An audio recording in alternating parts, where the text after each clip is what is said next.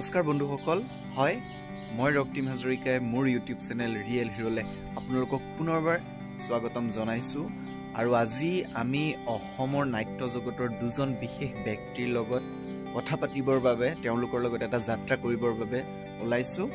আৰু মই ভাবোঁ আপোনালোকক এতিয়া মই নামটো নকওঁ অলপ সময়ৰ পিছত আপোনালোকে নিজেই গম পাই যাব। মই কোন দুগৰাকী ব্যক্তিৰ কথা কৈছোঁ।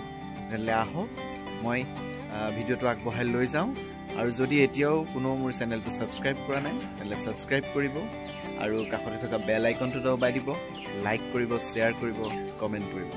বোলে আহক বন্ধুসকল আমি ভিডিঅ'টোৰ মাজলৈ যাওঁ এয়া প্ৰথমতে দেখুৱাইছোঁ মই তেখেতৰ ঘৰৰ যিটো বাহিৰৰ পৰিৱেশ সেয়া দেখিছে আপোনালোকে। এয়া সমগ্ৰ পৰিৱেশটো দেখিছে কিমান ধুনীয়াকৈ ছাৰে মানে ঘৰখন সজাই পৰাই ৰাখিছে। এয়া ফুলেই চাবনে আপোনাৰ ঘৰেই চাব।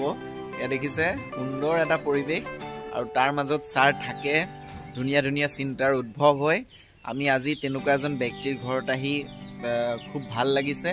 আৰু বহুত কথা পাতিম। আহক তেনেহ'লে ভিডিঅ'টো আগবঢ়াই লৈ যাওঁ। বন্ধুসকল এয়া মই ভিতৰলৈ সোমাই যাওঁ। ছাৰ ভিতৰত আছে। কিন্তু তাৰ আগতে মই আৰু এজন বিশেষ ব্যক্তিৰ সৈতে আপোনালোকক চিনাকি কৰাই দিব বিচাৰিছোঁ। আহক এয়া ভিতৰলৈ সোমাইছোঁ এয়া চাওক এয়া কোন আছে? আহি পেলাই পাইছেহি তেখেতে নগাঁৱৰ পৰা আহি পাইছে। আমাৰ অতি শ্ৰদ্ধাৰ মৃণাল দা মৃণাল কুমাৰ বৰা অসমৰ এজন বিশিষ্ট নাট্যকাৰ পৰিচালক। আজি আমাৰ মাজত থাকিব আমি একেলগে এটা যাত্ৰা কৰিম।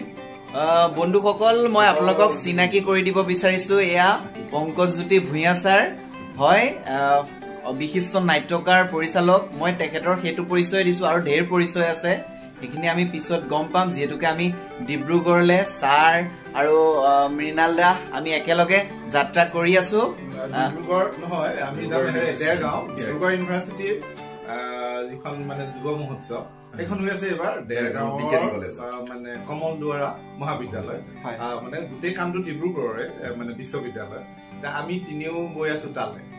লগ পাম আমি কথা পাতি থাকিম। তেতিয়াহ'লে ভিডিঅ'টো চাই থাকিব আপোনালোকে। বন্ধুসকল সেয়া আমি আহি আহি কলীয়া ভোমোৰা দলঙৰ ওপৰত হয়। তেজপুৰ পাৰ হৈ আমি এতিয়া কলীয়া ভোমোৰা দলঙৰ ওপৰত আৰু অকণমান সময়ৰ পিছতে আমি কলীয়াবৰ তিনিআলি পামগৈ। তাৰপিছত আমি কাজিৰঙাৰ দিশে আগবাঢ়ি যাম। আপোনালোকে ভিডিঅ'টো চাই থাকক। যদি ভাল পায় নিশ্চয় লাইক এটা কৰিব। আৰু যিসকলে এতিয়াও মোৰ চেনেলটো ছাবস্ক্ৰাইব কৰা নাই ছাবস্ক্ৰাইব কৰিব। আমি কলিয়াবৰ তিনিআলি পাৰ হৈছো। গৌৰীতল পাইছো। গৌৰীতল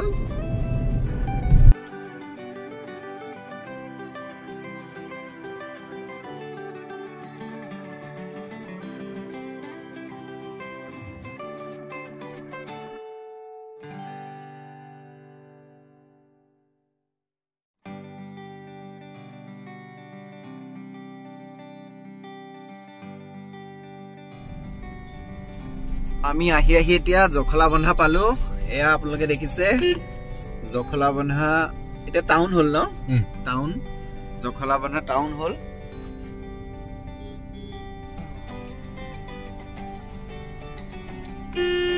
জখলা বন্ধা পাৰ হৈ পেলাই ডিপুত তেল ভৰালো আৰু এতিয়া আমি গৈ আছো কাজিৰঙাৰ দিশে। তাৰপিছত আমি ডেৰগাঁও পাওঁগৈ। ডেৰগাঁৱলৈ আচলতে আমি কেলে গৈ আছো সেই বিষয়ে সবিশেষ আমাক এতিয়া জনাব। দুগৰাকী বিশেষ ব্যক্তি আছে গাড়ীখনৰ ভিতৰত। এতিয়া আমি কাজিৰঙাৰ এটা মনোৰম পৰিৱেশৰ মাজত তেওঁলোকৰ লগত কথা পাতিম। তেনেহ'লে আহক বন্ধুসকল ভিডিঅ'টো আমি আৰু আগবঢ়াই লৈ যাওঁ। ছাৰ প্ৰথম আপুনি আৰম্ভ কৰক তেনেহ'লে আমি কিয় গৈ আছো? মইতো গাড়ী চলাই আছো এতিয়া। মোৰ উত্তৰ মানে মৃণালক মই দি দিছো। মৃণালে ভালকে কব গাড়ী চলাই থাকোতে কথা পাতিব নাপায় বুলি কথা পাতিব নাপায়। বন্ধুসকল ছাৰে এটা গুৰুত্বপূৰ্ণ কথা কৈছে। আমি গাড়ী চলাই থাকোতে যাতে বেছি কথা নাপাতো। কথাটো পাতিবই লাগিব।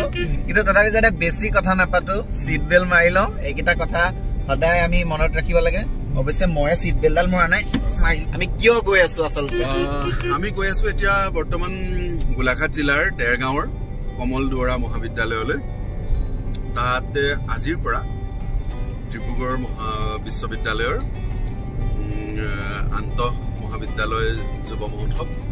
তাতে নাটকৰ বিচাৰক হিচাপে আমাৰ শ্ৰদ্ধাৰ পংকজজ্যোতি ভূঞা দা মই। আপোনালোকে নাটকৰ বিচাৰক বিচাৰ কৰিবলৈ গৈ আছে। ইমান সময় মই নাটক ভাল পোৱা মানুহটো কোৱাই নাছিলে যে। মোৰ কাৰণে এটা বহুত মানে ডাঙৰ ছাৰপ্ৰাইজ মই নাটক চাবলৈ গৈ আছো।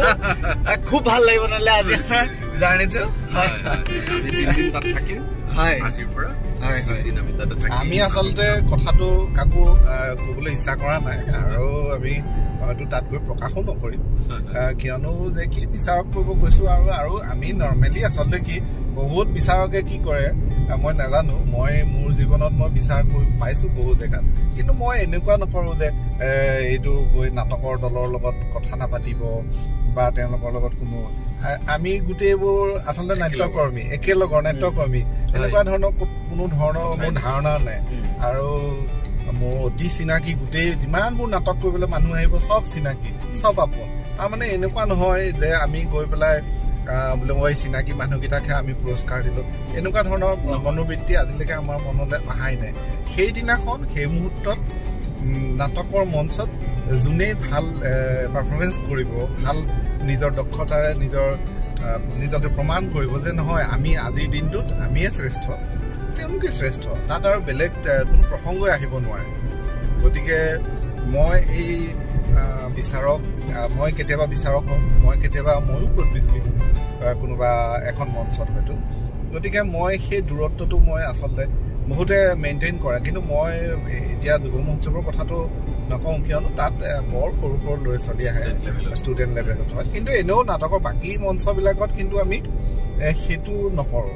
মই একেবাৰেই নকৰোঁ। বেলেগে কৰে মই চাই থাকোঁ যে তেওঁ বিচাৰক এটা ফাইল লৈ বা বেলেগ ধৰণে ইফালে সিফালে গৈ থাকে। মই সেইটো কৰিবলৈ বৰ বেয়া পাওঁ।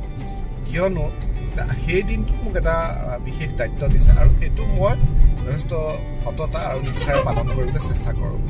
গতিকে মই বেলেগ এটা নীতি মই কেতিয়াও অৱলম্বন কৰা নাই। সেইটোকে মই মানি পেলাই মই সদায় চলি আহিছোঁ।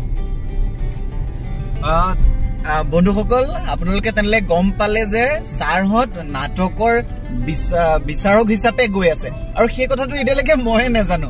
আৰু গম পাই মোৰ খুব ভাল লাগিছে। আমাৰ ভিডিঅ'টো আৰু ইণ্টাৰেষ্টিং হৈ হৈ গৈ আছে। যিমানে আমি কাজিৰঙাৰ ফিলে সোমাই গৈ আছো তেনেহ'লে আপোনালোকে স্কিপ নকৰিব। ভিডিঅ'টো চাওঁতে স্কিপ নকৰিব।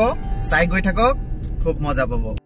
বন্ধুসকল আমি আহি আহি এতিয়া এলিফেণ্ট ভিউ পাইছোহি আৰু মই আপোনালোকক দেখুৱাম ইয়াৰ পৰা আমাৰ এলিফেণ্ট ভিউৰ যি প্ৰাকৃতিক শোভা। আপোনালোকে চাওক।